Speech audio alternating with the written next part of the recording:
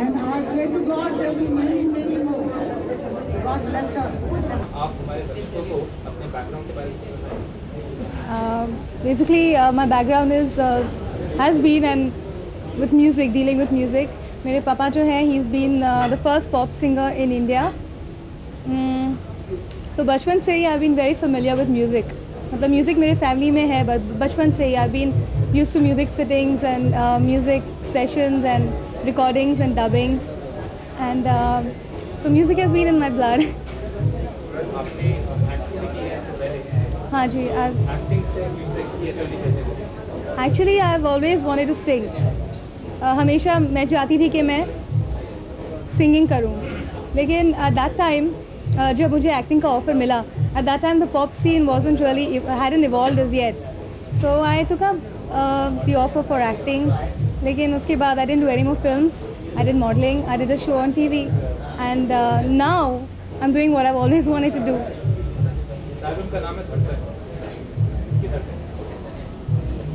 ये अ, मेरी मेरी धड़कन है। आप लोगों के दिल की धड़कन हैं। आठ गाने हैं और the music is very young the title song is Dhadkan लेकिन जो पहला वीडियो हमने शूट किया है दैट इज़ कॉल वो बीते दिन याद है, आपने देखा होगा। और आपका सारे मेरे फेवरेट हैं sorry all the songs are my favourite we work so hard on each song on this album and every song has a special meaning for me and for everybody who's work on it so I can say that one song is my favourite How would you categorize the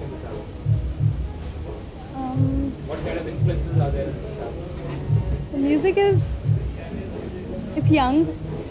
Music is basically young, but the lyrics that we have uh, used are uh, they're meaningful.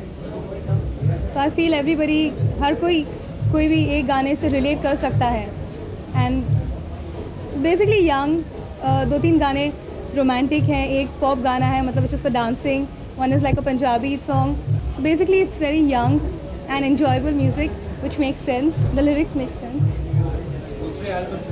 different from the other pop albums? ये आपको मुझे बताना पड़ेगा।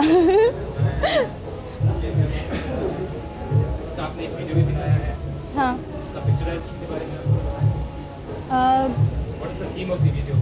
It's a sad song ये the video the गाना the song is वो बीते दिन याद है। और ये गाना सैड गाना है, लेकिन the present tense is sad but I am thinking about the past मतलब जो समय बीत गया है जो दिन बीते हैं और I loss my love he dies and I am just thinking about him and all the moments that we share the happy moments the beautiful memories that we had so it's basically a sad romantic video with beautiful moments in it What next? My next video? And uh, i love to do live shows so for now that's that And uh, music-wise, uh, what are you trying to convey through this album? uh, what am i trying to convey Is it an expression of some, some kind? It's just enjoyable music.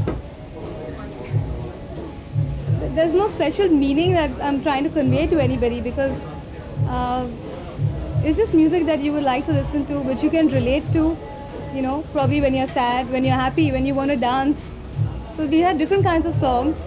And yeah, there is one song, if that's what you mean, एक गाना है, that is uh, दुनिया में जीना है तो सपने सजाते रहो रोने से क्या फ़ायदा हँसते हंसाते रहो so yeah that is one song that has a meaning कि यू नो कि जो होगा होने दो but just live for today but otherwise the whole album is enjoyable and we worked really hard Where the inspiration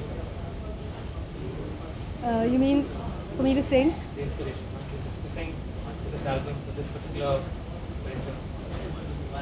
We've actually uh, been working on it since a long, long time, since uh, almost two years now. And uh, there are four tracks that are composed by Ajit Singh, that's my father, and there are four tracks composed by Charles Srinivasan. So basically, I've uh, always wanted to sing, and most of the tracks have been used since I was younger. Papa के compositions है. So I've always wanted to sing them, and now I'm finally doing that. lyrics we have uh, three people writing lyrics this uh, जो पहला video है वो बीते दिन that is by Gitanjali Singh with my mother और uh, Asha Rani is writing uh, four songs in this album the title song Dhadkan and uh, the last song, there's a Punjabi song that's written by Shah Manuragi. So it's a lot of joint effort involved in this, and most of it happens to be in the family. So it is very, very, very nice working. And I pray to God there will be many, many more. God bless her God bless the company. All the people who have worked for it. Kajis? Your music is? What kind of music? Well, it's uh, popular music and uh, great variety has been given in it. We've uh, worked on all styles, uh, covering the entire range of pop music, popular music today.